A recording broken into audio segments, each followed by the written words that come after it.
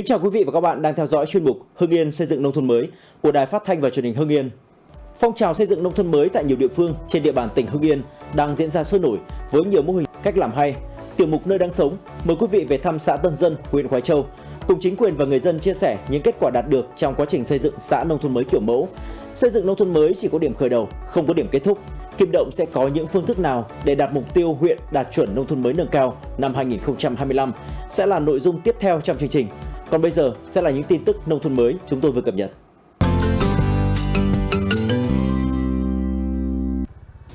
Vừa qua, đoàn thẩm định nông thôn mới tỉnh Hưng Yên đã tiến hành thẩm định hồ sơ và kết quả thực hiện các tiêu chí xây dựng xã nông thôn mới nâng cao và kiểu mẫu đợt 1 năm 2023 tại 15 xã trên địa bàn 5 huyện, thị xã, thành phố.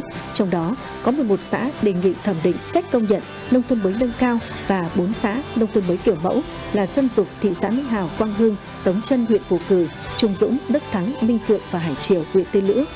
Đông Tảo, Thành Công, Giải Trạch và Ông Đình, huyện Hoài Châu, Vĩnh Xá, Toàn Thắng, Phạm Vũ Lão, Hiệp Cường, huyện Kim Động. Kết quả thẩm định sẽ làm căn cứ để Ủy ban dân tỉnh công nhận xã đạt chuẩn nông thôn mới nâng cao, nông thôn mới kiểu mẫu trong thời gian tới.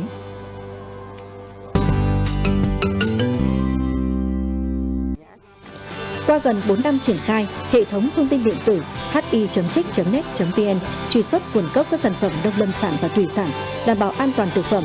Đến nay trên địa bàn tỉnh Hưng Yên đã có gần 1.000 sản phẩm được bảo vệ quảng bá và nâng cao giá trị, góp phần thúc đẩy sản xuất hàng hóa cũng như công tác quản lý chất lượng các sản phẩm tiêu biểu của tỉnh. Hương Yên hiện đã hoàn thành xây dựng phiên bản giao diện tiếng Anh, tiếng Trung cho hệ thống, đã hỗ trợ 74 triệu tem xác thực ứng dụng quy trình chống hàng giả cho hơn 200 cơ sở sản xuất kinh doanh.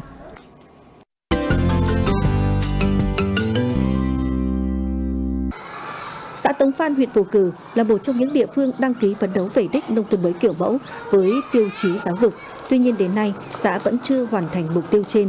Nguyên nhân chủ yếu là do hiện nay trường mầm non Tống Phan chưa được xây dựng tập trung, vẫn nằm rải rác ở các thôn Cát Dương, Hạ Cát và Tống Xá, ảnh hưởng trực tiếp tới việc chăm sóc dạy học của gần 350 trẻ em và 30 giáo viên và không đạt chuẩn mức độ 2 xã đã có kế hoạch xây dựng mới trường mầm non tập trung tại thôn Tống Xá, diện tích khoảng 1.000 m2 với tổng giá trị khoảng 90 tỷ đồng và phấn đấu đến năm 2024 sẽ về đích nông thôn mới kiểu mẫu.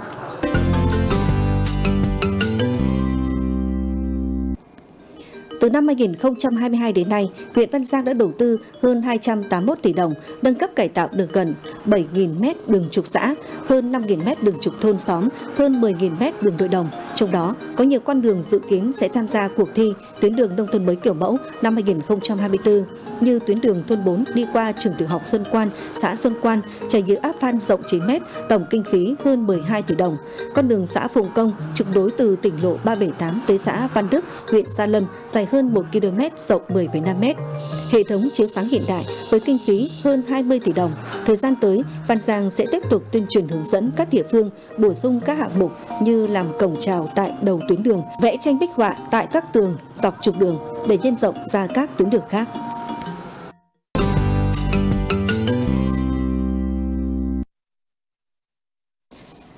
Lê Như Hổ là thôn được xã Hồng Nam, thành phố Hưng Yên chọn làm điểm xây dựng mô hình thôn thông minh. Từng nguồn xã hội hóa, thôn đã lắp đặt 20 mắt camera dọc trục đường chính và một số điểm wifi công cộng miễn phí, nhà văn hóa thôn, khu tập luyện thể thao ngoài trời, góp phần đảm bảo an ninh trật tự, giảm thiểu tình trạng mất trộm vặt, hạn chế xả rác thải bừa bãi trong khu dân cư là thủ phủ xứ Nhãn Lồng, xã Hồng Nam triển khai mô hình thôn thông minh trong lĩnh vực sản xuất. Thôn Lên Như Hổ, có 364 hộ dân, thì khoảng 90% dân số trồng và kinh doanh các sản phẩm từ nhãn. Thôn có hai hợp tác xã và một tổ hợp tác trồng và chăm sóc nhãn theo tiêu chuẩn Việt Gáp, áp dụng truy xuất nguồn gốc QR code.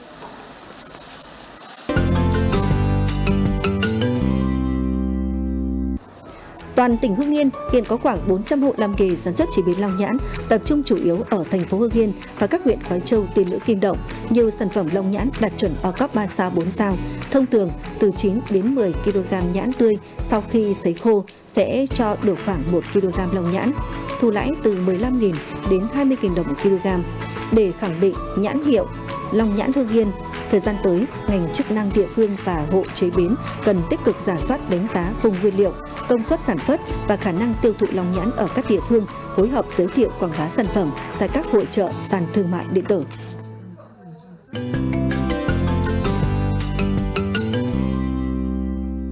Những năm qua, nhờ phát huy tinh thần dân chủ và sự đồng thuận của các tầng lớp nhân dân, xã Tân Dân, huyện Khói Châu đã đạt được nhiều kết quả to lớn trong xây dựng nông thôn mới. Tân Dân là một trong 6 xã đầu tiên của tỉnh đạt chuẩn nông thôn mới kiểu mẫu với nhiều tiêu chí vượt mức kế hoạch đề ra. Sự thành công của xã Tân Dân để lại nhiều bài học kinh nghiệm cho các địa phương khác, đặc biệt là trong việc huy động sức dân trong xây dựng nông thôn mới kiểu mẫu. Tuyến đường trục chính và xã Tân Dân trước kia vốn nhỏ hẹp đi lại rất khó khăn. Nhờ sự đồng thuận của người dân, tuyến đường được mở rộng ra 7,5 mét, có rãnh thoát nước hai bên. Hàng trăm hộ dân tự nguyện hiến từ vài mét vuông đến vài chục mét vuông đất để làm con đường khang trang, to đẹp. Đây cũng là một trong hàng chục tuyến đường được sửa chữa và xây mới với sự đóng góp công sức và hiến đất của người dân. Người dân toàn xã đã hiến trên 5.000 mét vuông đất và 25.000 ngày công lao động để mở mang các con đường. Nhờ vậy, xã Tân Dân được đánh giá là một trong những địa phương có hệ thống đường giao thông nông thôn tốt nhất của huyện Khói Châu. Xã đã phát động thì gia đình nhà tôi xin sung phong là đầu tiên là hiến đất để làm đường. Sau đó hiến là chiều dài là 32 mét, chiều sâu là 1 mét 15, tính đo nó khoảng 42 mét vuông. Thế và công trình nhà tôi là tự tháo rỡ. Tôi rất là phấn khởi vì tôi đã được tham gia đóng góp các cái công trình cho quê hương. Xác định tiêu chí môi trường là tiêu chí khó trong xây dựng nông thôn mới kiểu mẫu, xã Tân Dân đã huy động sự vào cuộc của tất cả các tầng lớp nhân dân, trong đó Hội Phụ nữ xã đi đầu thực hiện cuộc vận động xây dựng mô hình 503 sạch với phong trào nhà sạch, ngõ sạch, nhà sạch vườn sạch. Sau 2 năm phát động, phong trào đã thu hút sự tham gia của hơn 2.000 hộ gia đình cùng chung tay giữ gìn vệ sinh môi trường và cảnh quan đường làng ngõ xóm. Hội Phụ nữ xã Tân Dân đã tập trung vào một số những cái hoạt động, những cái phong trào để góp phần nâng cao ờ, cái tiêu chí về môi trường. Trong đó chúng tôi chú trọng ờ, các cái mô hình như là mô hình đường hoa phụ nữ, mô hình ờ, phân loại xử lý rác thải sinh hoạt tại hộ gia đình, mô hình thu gom rác thải nhựa và mô hình nhà sạch ngõ sạch. Đặc biệt là cái phong trào vệ sinh đường làng ngõ xóm vào ngày chủ nhật ừ, cuối tuần thì được hội phát động thường xuyên.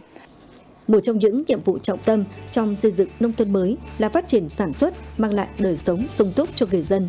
Trong sản xuất nông nghiệp, địa phương có vùng chuyên canh ken quả tập trung với các sản phẩm chủ lực gồm nhãn, cam, chanh bưởi và quất cảnh.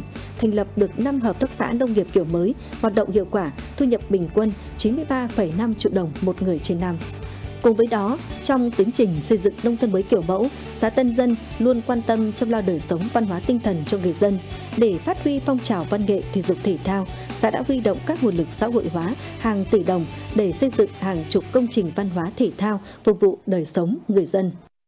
Từ khi xã có cái sân cỏ nhân tạo cực kỳ đẹp này, hàng ngày cứ sau giờ học, cháu thường ra đây đá bóng cùng với các bạn rất là vui và khỏe. Về Tân Dân hôm nay, không ít người ngỡ ngàng về sự đổi thay của xã nông thôn mới kiểu mẫu.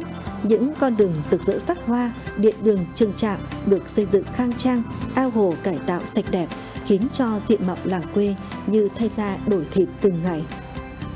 Sau 10 năm ờ, xây dựng nông thôn mới của xã Tân Dân là đi vào là lòng dân mà hoàn toàn là nhân dân hưởng ứng và ủng hộ. Thay đổi của cái xây dựng nông thôn mới rất là tuyệt vời. Đường làng ngõ xóm đều là bê tông hóa. Thứ hai là đường trục chính của xã hiện nay đang hiện đại hóa, cảm thấy là rất, rất tự hào. Trong 12 năm xây dựng nông thôn mới, xã Tân Dân đã huy động được các nguồn vốn hơn 254 tỷ đồng để xây dựng nông thôn mới. Trong đó, người dân đóng góp hơn 103 tỷ đồng để làm các hạng mục công trình kiến thiết đổi thay quê hương, bất kỳ chủ trương, đường lối nào đều được đưa ra bàn bạc công khai. Thứ nhất là người đứng đầu phải quyết liệt. Thứ hai là phải thấu đáo bàn cụ thể với nhân dân và phân tích cho nhân dân hiểu được cái ý nghĩa xây dựng nông thôn mới, nông thôn mẫu để làm gì, lợi ích gì cho nhân dân thì à, cho nhân dân đồng tình. Đảng bộ và chính quyền à, nhân dân xã Tân Dân chúng tôi xác định xây dựng nông thôn mới là một nhiệm vụ trọng tâm và nó không có điểm dừng. À, từ ban chấp hành đảng ủy cho đến hội đồng nhân dân à, xác định quyết tâm rất lớn thế và đầu tư mọi nguồn lực và các cái mô hình thực sự là điểm thế rồi đầu tư kết cấu hạ tầng thì hệ thống các công trình phúc lợi này được đầu tư rất lớn sự quyết tâm bằng các cái nguồn vốn của tỉnh rồi các cái doanh nghiệp thế và tiền đấu giá đất để chúng tôi đầu tư hệ thống trường trạm, rồi đường giao thông hệ thống điện chiếu sáng để đảm bảo thực sự là nông thôn mới kiểu mẫu chúng tôi xác định là nông thôn mới kiểu mẫu hôm nay cũng chỉ là bước ban đầu, bởi vì là cái chặng đường phía trước còn rất nhiều và rất gian nan vất vả thì đảng bộ và nhân dân nhân dân là thực hiện nghị quyết của đại hội đảng khóa 23 là quyết tâm đến 2025 là chúng tôi sẽ xây dựng xã Tân Dân trở thành một xã anh hùng, lao động thời kỳ đổi mới. Năm 2016, xã Tân Dân về đích nông thôn mới. Năm 2019, xây dựng thành công nông thôn mới nâng cao. Năm 2021, đạt chuẩn nông thôn mới kiểu mẫu đầu tiên của huyện Khói Châu. Những kết quả ấn tượng trong xây dựng nông thôn mới sẽ là tiền đề vững chắc để xã đạt được những thành tựu to lớn hơn nữa trong tương lai, đưa Tân Dân trở thành một miền quê đáng sống để tất cả người dân đều được thụ hưởng những thành quả tốt đẹp mà công cuộc xây dựng nông thôn mới mang lại. Với quan điểm xây dựng nông thôn mới chỉ có điểm khởi đầu, không có điểm kết thúc, những năm qua, huyện Kim Động đã triển khai thực hiện nhiều giải pháp đồng bộ để giúp các xã hoàn thiện các tiêu chí đạt chuẩn nông thôn mới nâng cao, nông thôn mới kiểu mẫu. Kim Động phấn đấu huyện đạt chuẩn nông thôn mới nâng cao vào năm 2025. Dự kiến trong đợt 1 năm 2023, huyện sẽ có thêm 2 xã được công nhận nông thôn mới nâng cao và 2 xã nông thôn mới kiểu mẫu.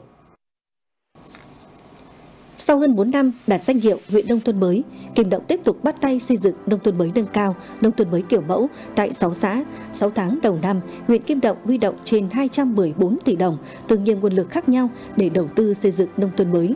429 mét vuông đất để làm đường giao thông, người dân vui sướng phấn khởi khi được thụ hưởng những thành quả từ phong trào xây dựng nông thôn mới. Khi mà xã mà đã phấn đấu là nông thôn đổi mới lên cao là người dân chúng tôi rất sung sướng và ủng hộ 100%. Chúng tôi là tự nguyện hiến đất vào để làm cho đường ờ, ngõ cho nó đẹp đẽ. Chúng tôi rất yêu mến cái mảnh đất hiện giờ chúng tôi đang ở. Phấn khởi và tự hào. Mấy năm nay thì ở thôn em cũng có nhiều thay đổi. Giáo dục được ưu tiên quan tâm rất chi là nhiều. Từ cơ sở hạ tầng vật chất đến cách giảng dạy truyền đạt của giáo viên. Thôn em phân loại rác thải Em thấy cái mô hình này cũng rất hiệu quả, nó hạn chế được nguồn rác thải khu dân cư rất nhiều. Với sự đồng lòng quyết tâm cao của cả hệ thống chính trị và các tầng lớp nhân dân, đến thời điểm này, huyện Kim Động có 10 trên 16 xã được công nhận đạt chuẩn nông thôn mới nâng cao, 4 thôn được công nhận đạt chuẩn khu dân cư nông thôn mới kiểu mẫu, Vừa qua, đoàn thẩm định nông thôn mới tỉnh Hưng Yên khi tiến hành kiểm tra đánh giá nông thôn mới nâng cao của hai xã Toàn Thắng, Vĩnh Xá và nông thôn mới kiểu mẫu của xã Phạm Vũ Lão, Hiệp Cường của huyện Kim Động đã ghi nhận thành tích các địa phương đạt được. Tỷ lệ đường ngõ xóm được cứng hóa, đảm bảo sáng xanh sạch đẹp đạt 100%. Giáo dục đạt chuẩn và duy trì mức độ 2, mức độ 3, thu nhập bình quân đầu người từ 68 đến 75 triệu đồng tỷ lệ nghèo đa chiều ở mức 0,4 đến 0,92%, lao động qua đào tạo đạt trên 85%. Các địa phương đã hình thành được các hợp tác xã hoạt động hiệu quả, nhiều sản phẩm OCOP được xếp hạng. Với sự quyết tâm và sự đồng thuận của toàn thể cán bộ và nhân dân thời gian tới, xã sẽ hoàn thiện các cái tiêu chí mà còn non quyết tâm xây dựng xã đạt chuẩn nông thôn mới kiểu mẫu về an ninh trật tự Bên cạnh những thành tích đạt được, các thành viên đoàn thẩm định cũng đã chỉ ra những tiêu chí còn yếu kém trong quá trình xây dựng nông thôn mới nâng cao và kiểu mẫu tại các địa phương. Đó là việc các khu chợ chưa được quy hoạch hoặc quy hoạch chưa đúng gây lãng phí, không đem lại hiệu quả sử dụng. Việc phân loại, xử lý rác thải chưa phù hợp và linh hoạt, mô hình phân loại rác thải tại nguồn mới được triển khai và chưa đồng bộ.